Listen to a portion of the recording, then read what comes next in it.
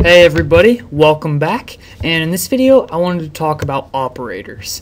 Operators are something that's used in pretty much every programming language you are going to run into. And I'm specifically going to be talking with JavaScript, but most of these are going to carry over in any programming language. So if you just want to learn about operators, this video will probably be useful for you. Alright, so I'm going to be explaining these, defining these, and we'll be, we'll be going over specifically arithmetic operators. And then in the upcoming videos, I will talk about some of the other ones. So, operators and operands. Those are two words you need to know. Like, for example, 5 plus 8, this plus sign, this is known as an operator. 5 and 8, they're known as the operands. Basically, the operator does something with the operands, and in this case, you guys probably know 5 plus 8 is 12. Haha, just kidding, 13. but anyways, the operator basically tells JavaScript add 5 and 8 and return 13. So here's another one. var x whoops equals 5. Alright, so this the equals sign right here, this is known as the assignment operator. This is a um, equal sign, and in, in programming, this is different than this and this. You will need to know the difference, and we'll be getting into that as we go into future videos, but this is known as the assignment operator. This would not be like 5 plus 5, whoops. Oh, come on, piece of crap. 5 plus 5 is equal to 10. That's not how it works. This, because that would be trying to say 5 plus 5 is a, an identifier of this value 10. And we can't use 5 plus 5 as a variable, so that's not going to work. So this assignment operator is only used in this case. It's not used in a mathematical equation where it's equal to something like this. In that situation, we would use two equal signs, and we will be getting into that as we go. Alright, so here's another example. This greater than sign, I think that, yeah, that's a greater than sign, is comparing 5 to 4. If 5 is larger than 4, it will return true. So is 5 larger than 4? Yes. So it will return true. There are actually a lot of operators in JavaScript, and it is important to familiarize uh, yourself with the type of operators and how to use each one. So in this vid video, we're going to be specifically talking about arithmetic operators, or math, simple English terms. Addition, subtraction, multiplication, and division. I recommend you understand all of these four if you don't, you probably want to check out some basic math tutorials. Uh, you can find those online or just YouTube search. Yeah, anyways, then we have some more advanced ones, such as the modulus, which is the remainder. And then we have increment, decrement, and a negation. And I'm go for example, let's look at the modulus. Alright, so let's do some examples here. As you can see, I have a new file. I'm going to save it second new.html oh, lowercase here. New.html I already have a file. I'm just gonna overwrite it. And then we can make obviously if we're working with a large JavaScript application we will have other HTML within our page and this would be either in the title or the, not the title the uh, head or at the end of the body. But this case I'm just gonna write script so we can run some JavaScript in testing. So we could have a variable x and we can make that equal to 5. Now let's make it 13. And then we could say, actually, um, the way the uh, the modulus works is it takes the remainder of a some some values. So, for example, we could have 13 um, modulus. Where is it at? Right, modulus two. And well, the way this works so if I if I assign it here, 13 modulus 2, well the remainder, basically how many times does 2 go into 13? We get 2, 4, 6, 8, 10, 12. And then we can't go one more because then we'd have 14. So we're left with one extra, the th from 12 to 13. So this is going to make the variable x have the value of 1.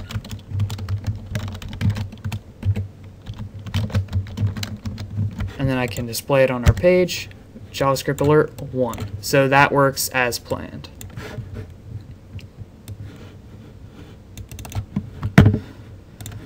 And we'll get into the other one soon. So here are some examples. 5 plus 5 returns 10. 5 minus 5 returns 0. 5 multiplied by 5 returns 25. 5 divided by 5 returns 1.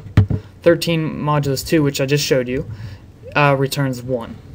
Negative 5, that is going to return negative 5, obviously. so yes, we can do that with, so we could be like var x equals negative negative 2, and that's going to change our values within our program. So now it's equal to negative 2.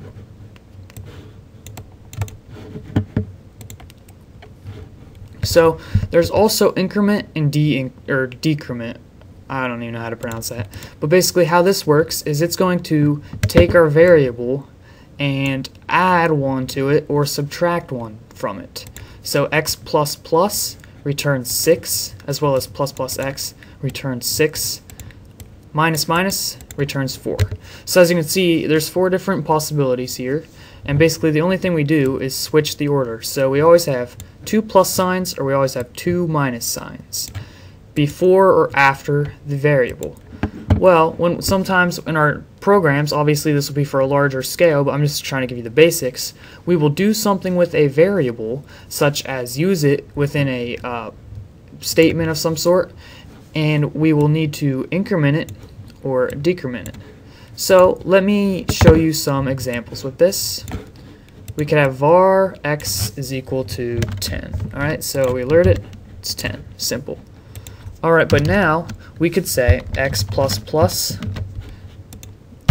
refresh the page, and now we have 11. Make sure to save your file. We could also go plus plus x, and the alert x 12. So this is an operator. Basically, it says var x, let me erase this up here. Actually, no. Okay, var x equals 10. And then we could say x is equal to x plus 1. Sorry I'm typing so slow, my keyboard's pretty far away and my microphone's in the way. So that's pretty much, we could just sum this up as x plus plus. It's just a shorthand version of that pretty much, and it returns the same value. Although you did notice there was two versions, plus plus x versus x plus plus.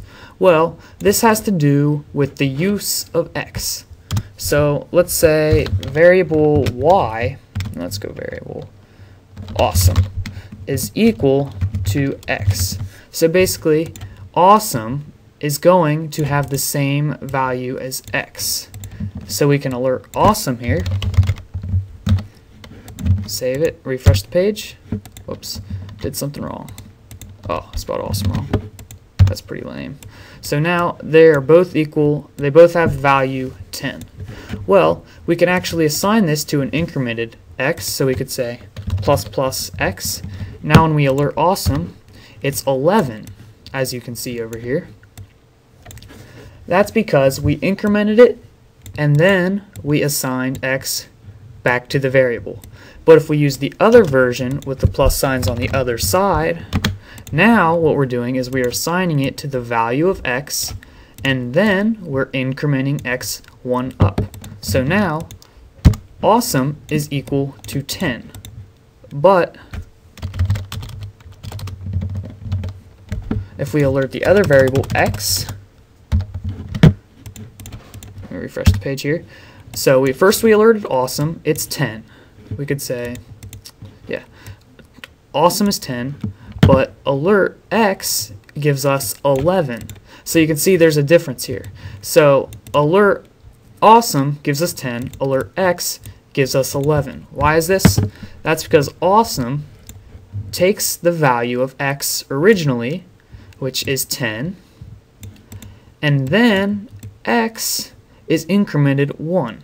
So that means awesome has a value of 10, and x now has a value of 11. You could also do this with x minus minus, for example, which just does the opposite direction. So awesome is the value 10, x is the value 9.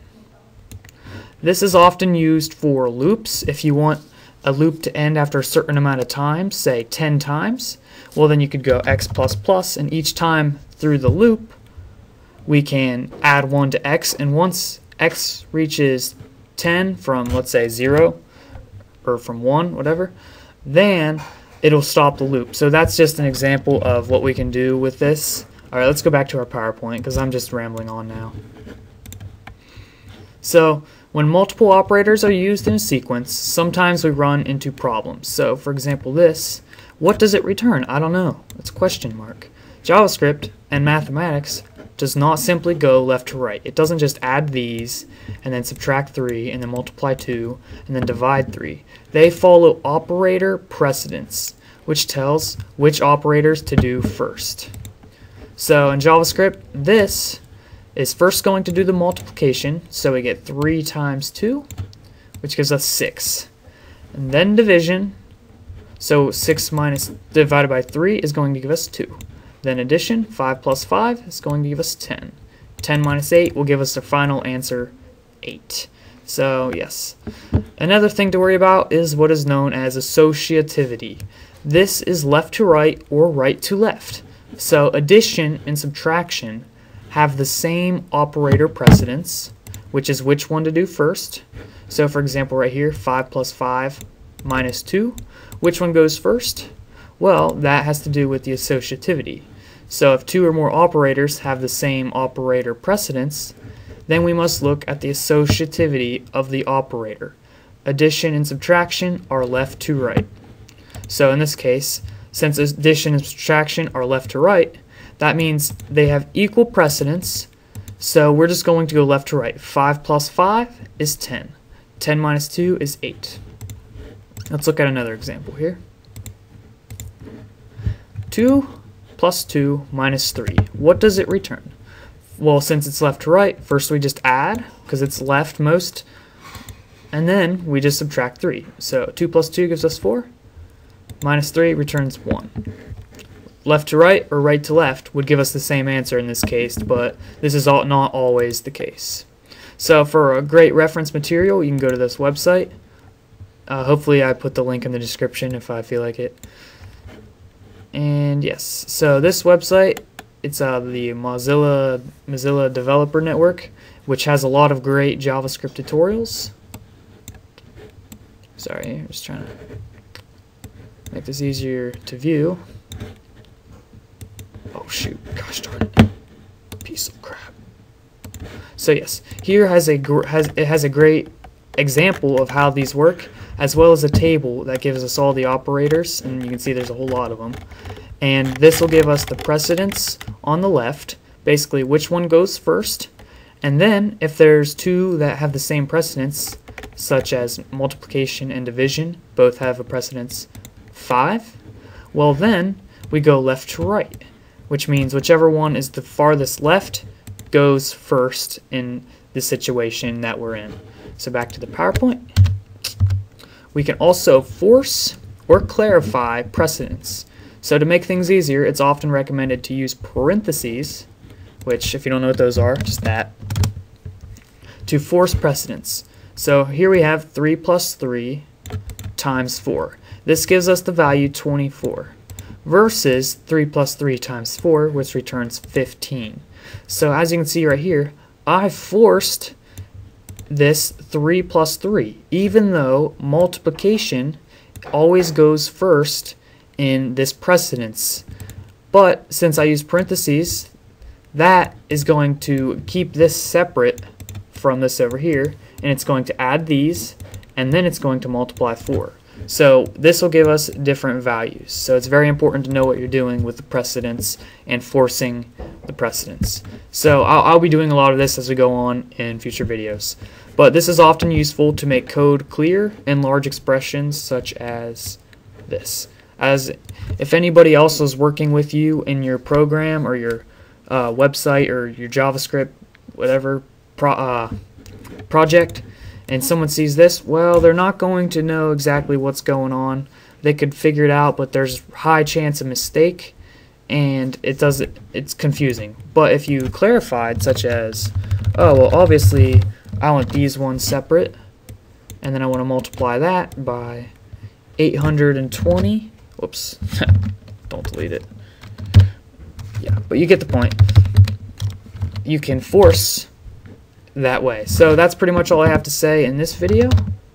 And hopefully that helped clear things up and I will be getting into some more operators in future videos. So now that you know about operators, go give them a try and you if you want to just like to show what for like what the value is, just use an alert function, which we've done that multiple times, so you should know how to do that.